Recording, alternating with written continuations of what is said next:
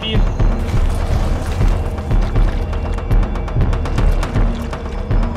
Si huimos nos atrapará en el bosque como a los demás.